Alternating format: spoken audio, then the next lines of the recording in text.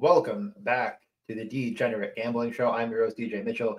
Welcome back to Generates. We are going to go over the NHL and really the entire viewing experience in my lifetime. Um, I'm going to jump right into things.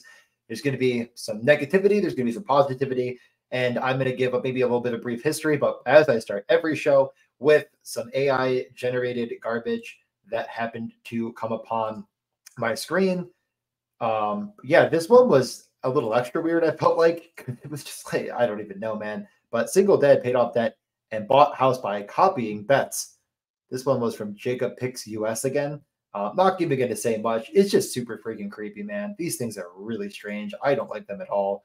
Um, I get them all the time. I always see them. Like they're very obviously AI generated, and I'm waiting for one to give me something even weirder. But this one's very weird to me. I, I didn't like it at all. It made me uncomfortable uh, in general. And I'm going to move on because I want to really just rant and rave. So the NHL announced the multiverse, which we knew was coming. I mean, I knew this was a thing in the works. You know, it's going to be it's for kids, you know, and, I'm not gonna I'm not be gonna be negative. I feel like I was really angry at first because maybe it's just selfish of me to to think that the NHL owes to their you know hardcore fans a better experience. Uh, maybe it's me just again being like, when is it going to be? You know, uh, uh, we we had a good idea. I made it very well known to people that I thought had you know that I know actually I know had a stake in that situation that I thought that this could be a little bit better, the Frozen Frenzy, but it had to continue. If it stopped, that was going to be the worst thing I could hear. Uh, it was a product that started slow. It definitely needed some time to get going. I won't argue with anyone about anyone has negative things to say about it, but I felt like towards the end it hit its stride and it was really going somewhere that I liked. People have different opinions on the broadcasters. People have their different opinions on the the flow or, or, the plan that didn't seem to be there. But again, even with any of that out of the way, I really felt like as they got to the later games and they got in a rhythm, it actually was fun. And I do think that if, even if you're negative towards, you know, it was Weekes, it was Bucci, etc. If you do, don't think they're the best commentators in the world, that's your opinion. They do well, I think, in that role of sitting down and, and discussing and talking about the plays. Buccigross is a very excited person and he can deliver on very exciting things over and over again. So I do think it's a good fit for him in general. I really do. And I'm not the person that, you know, would often seek out his broadcasting. It's no disrespect, just how I feel. And I'm going to be honest on this channel. Why not? There's like 100 people watching tops. So they announced the multiverse. It looks okay. It's fine. I, I really don't even care. Um, it's not for me. It's for children. And I probably should have taken a step back before making a tweet because number one, I often will try to say things like the All Star game. I'm not going to be negative because it's really not made for me. I don't mind watching it. I don't mind looking at the skills competition, but that's not a product that was generated for nearly 30 year olds that are hardcore NHL fans. Um, and I think it's a good event. This, this is an idea to bring in new fans. Will it do it? I don't know. Personally, I think this is going to be a thing once again, where if you do it once, it is going to go with all of the other ideas the NHL had that, I mean, were worse than this largely. Comic books, uh, the freaking NFT project that I don't even think is out of beta yet, but I don't think anyone had ever even touched. It's just stuff like this where I, I maybe I come at it so negative to begin with, just because of the history of the NHL in general in my lifetime. So I wrote it down here. And I'm not going to give an events detail because I doubt you even really care. But from 1990 to 2005, the NHL was brought to you on ESPN. Now, around that time, right in the middle there, was really when the NHL probably hit its biggest stride, like right at the beginning of 1990, when things, I think, escalated to this is actually becoming one of the major sports uh, in America. You know, and this is all America, by the way. I'm only going to talk about America. Canada's obviously massive, and they have their deals, and it's a big deal there. There's no sense in really arguing. Um, why the deal went away in 2005. I mean, again, this is just the first, not even the first. I mean, one of just a many, many giant Gary Bettman mistakes. Now, the decision to take the money from OLN, again, the outdoor life, the out, yeah, outdoor life network is preposterous. I mean, I can't imagine the money was so much better that you were going to just completely nuke your viewership, make it difficult to find, again, the hardcore hockey fan is going to find it. I remember at home for me, it was Channel 69. I still remember that because it's funny. No one outside of that umbrella was going to find it. So Gary Bettman makes an incredibly short-sighted decision in a history of already short-sighted decisions and continued to make that in 2005. People looked at this. I read a couple articles that it was like, well, the NHL is getting paid more than we thought they would here, but I mean, it's going to be difficult for you know fans to find games, and uh, you know, this is a small network, and it, would, it was basically the NHL and pro fishing. That was the network. There was old runs, reruns of Survivor. It wasn't a popular network. And in 2008, when the deal ended, OLN was sold to Rogers, and the NHL, because that network, that channel was bought by NBC, it became Versus, and now NBC technically, I feel like owned the rights. And until 2000, I believe it was 11, yeah, 2011, they had a 10-year deal in place with the NHL to go to NBC. That they could have gone anywhere. There was a lot of people that believed they were going to go to Fox at that time. And maybe there was some sort of loyalty that was conjured up in those three, in those couple of years, those uh, 2008 to 2010 with Gary Bettman and NBC. I think NBC had good ideas. I think they really tried at the beginning and it just fell apart towards the end. The Versus Network never really got going. Again, it was way down the line. There was really nothing on it.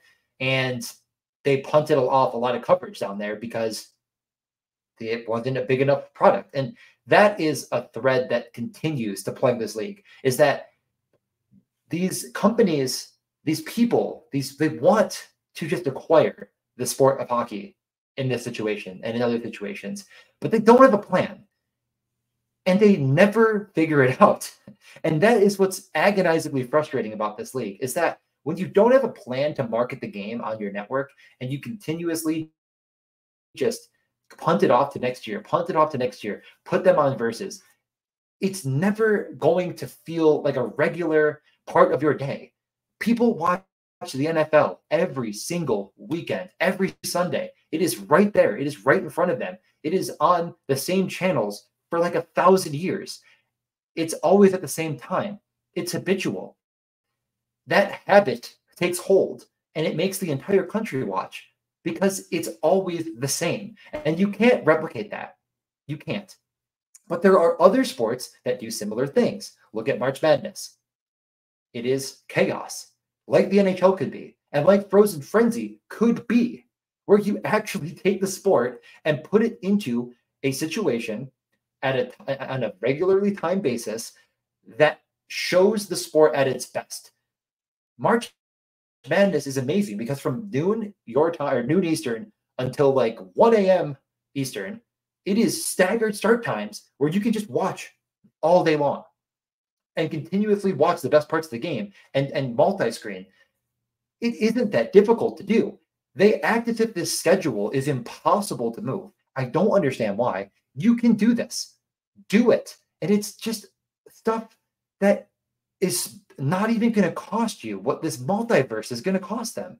Just to try and put something out there and literally copy and paste an already very successful practice because hockey isn't what it was when it went from ESPN to OLN. It wasn't hard. It's not hard to follow anymore. TVs have caught up. We can watch the game. We know what's happening.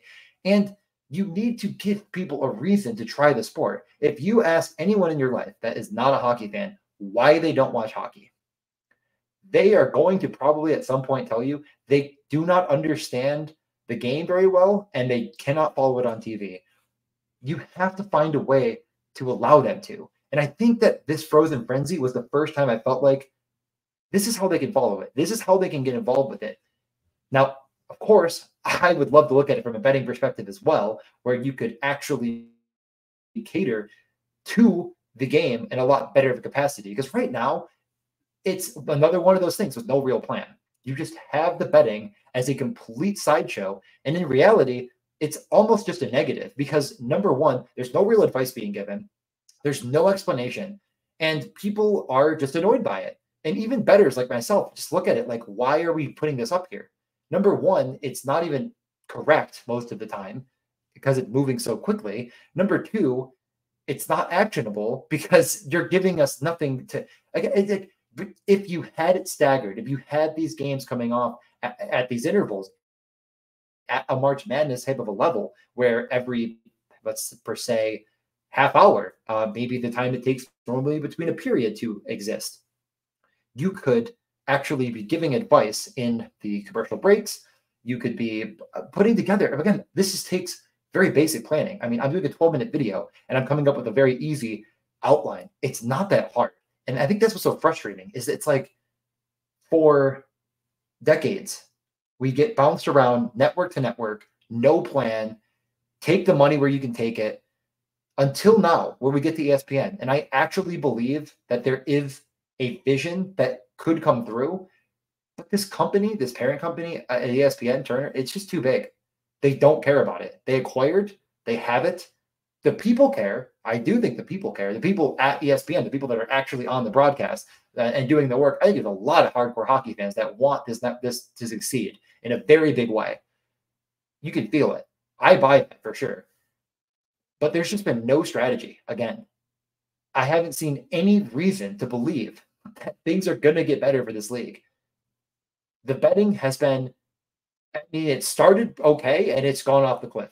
I mean, I recently listened to Greg Wyshynski talking about how he used to, you know, be on the Daily Wager and give some betting, and, and it just kind of fell apart because he didn't really feel passionate about it. I mean, that's more or less the genesis of it. He was doing it because it was part of the, you know, but, but they don't want to hire anyone to do it. And if they do, it's going to be someone that, you know, frankly, I don't believe will know what they're talking about. That's my opinion. I'd love to be proven wrong, be proven wrong by whoever gets on there or whoever wants to talk about it. And even if you have people like Buccigross, like Bissonnette on TNT, you know, um, with again, eventually this merger that's going to go through next year, where a lot of these networks are going to come together.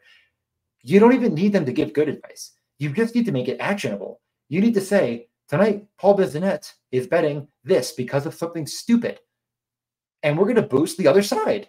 Just have fun. Just do something interesting. It doesn't have to even be about betting. You just have to take this product that, again, has bounced around more than any other sport and actually give us a plan for once. This is something. This multiverse thing is something. It is a thing, and parents are excited about it. As far as the media is concerned, they, they are excited to watch it with their kids. If it happens one time and we never see it again, I'm going to lose my fucking mind. It's not even that I think it's a good idea. I don't. I, I mean, again, it's not for me though. So I'm going to back off and I'll, you know, I shouldn't have probably been so negative about it. It, it cannot be one and done. It can't. We can't do this every time with everything. It's always one and done with the NHL. It's always just uh this is something we're going to try. And I think Frozen Frenzy was successful personally, and I think it could have been better never see it again. If I never see it again, again, I'm heartbroken. I want a plan. I want consistency. That's it. You have to give people a reason to watch. And then once you give them that reason, you have to continue it. And they just don't.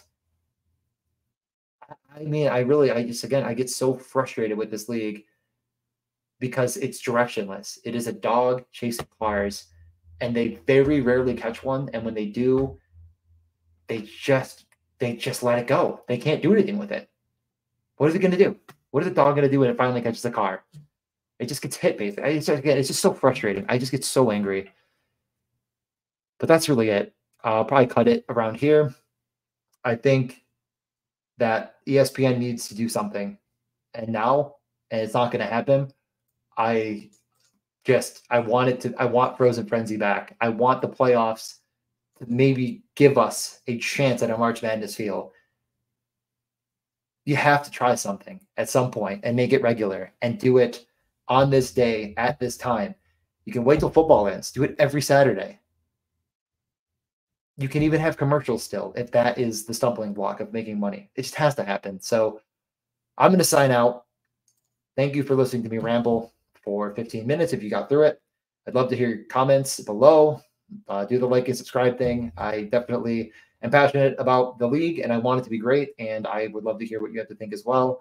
So, yeah, do all of the engagement stuff that you should do because um, it probably will help me go from making zero dollars to zero. But we'll talk soon.